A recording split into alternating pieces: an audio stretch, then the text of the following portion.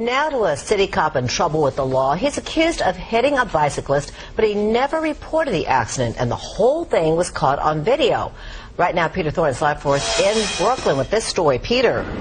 And where did this horrible crash happen? Right back there in the intersection, the crosswalk there behind me. We're in downtown Brooklyn by Jay Street and Sands Street. If you're familiar with this area, you know this place practically buzzes with bikers during rush hour. It sure does. I talked to a lot of those bikers today, those bike riders. They tell me they see accidents all the time, but never something like this.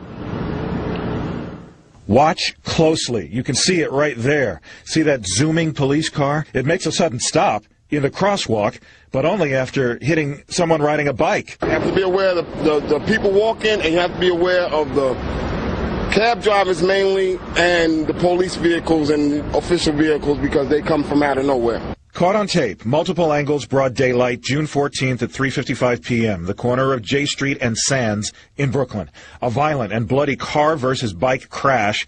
The victim, identified in court papers as Yu Tong Chan, suffered a busted nose and lip, broken tooth, a fractured hand, thrown through the